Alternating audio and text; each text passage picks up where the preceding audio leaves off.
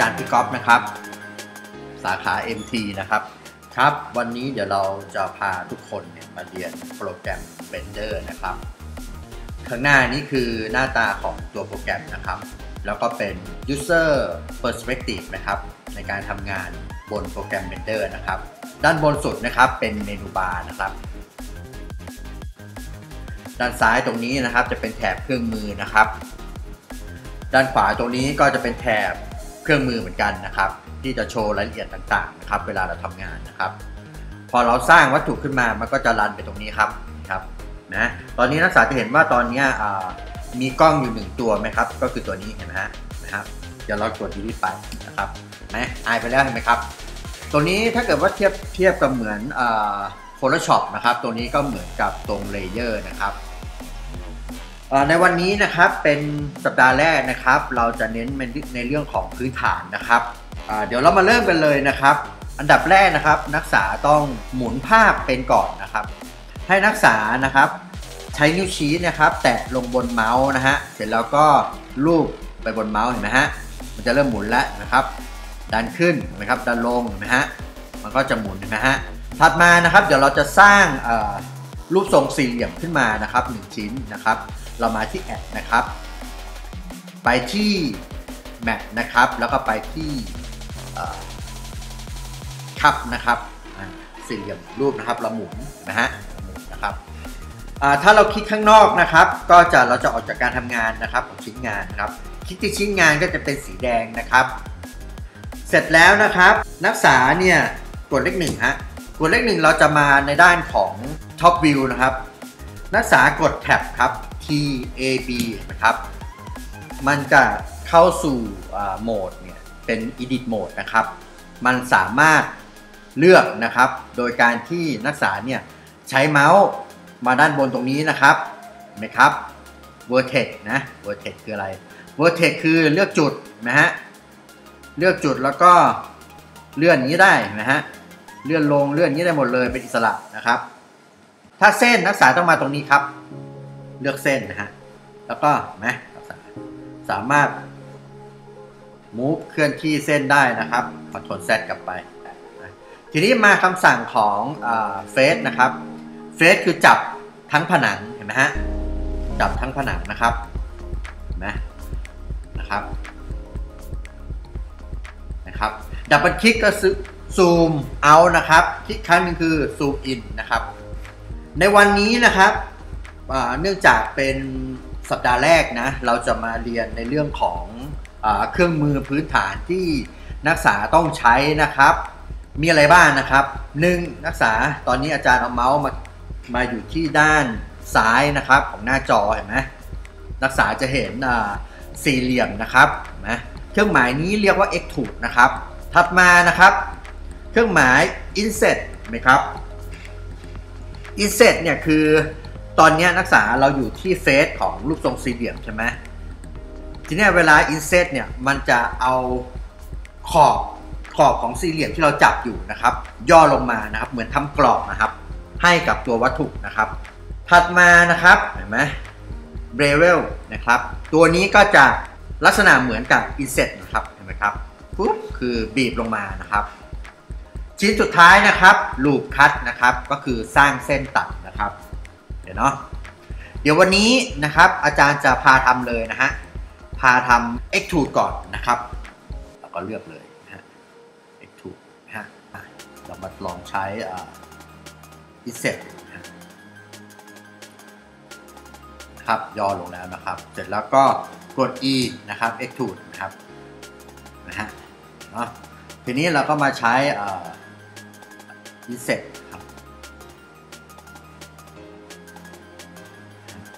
e extrude ครับ extrude นี่จะ extrude ลงก็ได้ extrude ขึ้นก็ได้นะครับเห็นไหมฮะเสร็จแล้วนะครับเราจะกดแท็บออกจากตัวชิ้นงานนะครับ แล้วก็เลื่อนชิ้นงานนี้มาก่อนนะฮะเดี๋ยวเนาะอันนี้เราฝึกใช้ extrude นะฮะถัดมานะครับรักษาเรากด add ขึ้นมา1ชิ้นนะครับ กด add เข้ามา1ชิ้นนะฮะ add เข้ามา1ชิ้นมาที่ mat นะครับ เลือก สี่เหลี่ยมขึ้นมานะครับ เราจะมาลองใช้เครื่องมือ Inset กันนะครับทำไงต่อครับนักศึกษากดแท็บนะครับ เข้าสู่การทำงานนะครับ นักศึกษาเลือกเฟซนะครับ กด Insert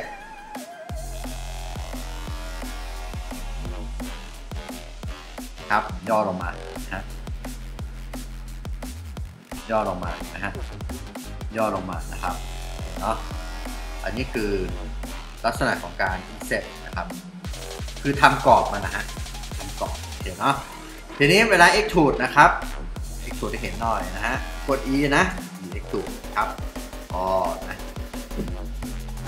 ตอนนี้เราคลิกเลือกเฟสนะครับ จะเลือกได้ทีละอันนะ ให้นักศึกษากดชิปนะครับ เพื่อเลือกเฟสนะครับ เสร็จแล้วก็กด e นะ extrude ครับ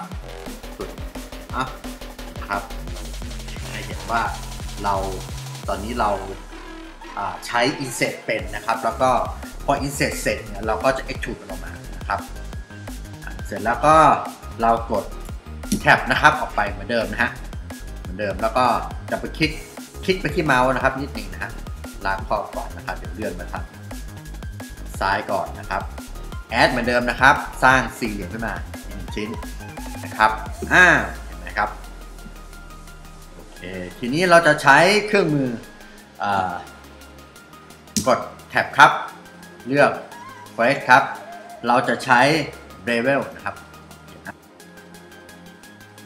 ครับ Bevel นะ มันจะเหมือนมันเหมือนเราจับบีบมันให้มันเป็นรูปทรงเหมือนคล้ายๆพีระมิดนะครับ ถ้าเกิดจะมาจับ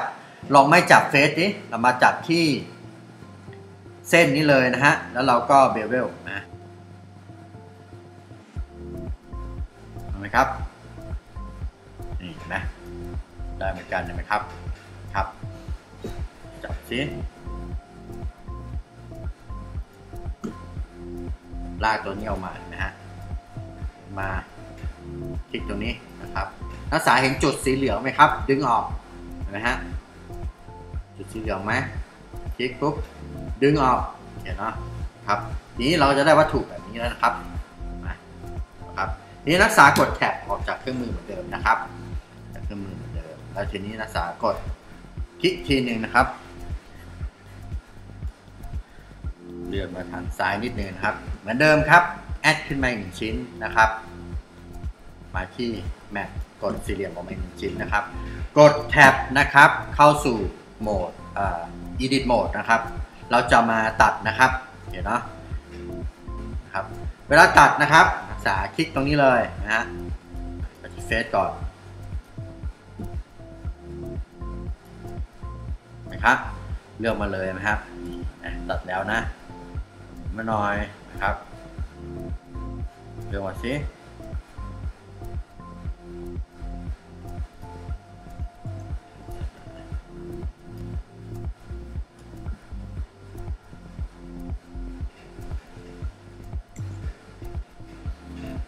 ให้เฟซเหมือนอตัวอะไรอะรูบิกเลยนะฮะ เสร็จแล้วพอเฟซเสร็จนะ นักศึกษาเราลองมาที่ มาที่เฟซโหมดดูนะครับครับ แล้วที่ลอง extrude มันออกมากดตำบวกนี่ใช่ไหมฮะกดตำบวกออกมานะฮะกดตำบวกมันออกมานะครับ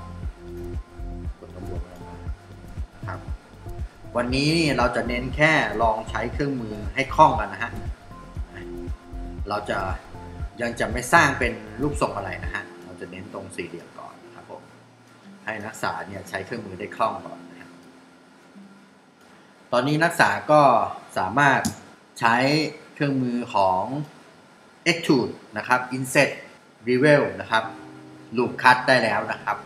ในวันนี้นะครับอาจารย์ก็จะมีการบ้านให้นะครับนะครับ เดี๋ยวให้นักศึกษาทำตามนะครับ ตามรูปทรงที่อาจารย์กำหนดให้นะครับ นะครับ ส่งวันนี้นะครับผมครับสำหรับวันนี้นะครับมีแค่นี้นะครับ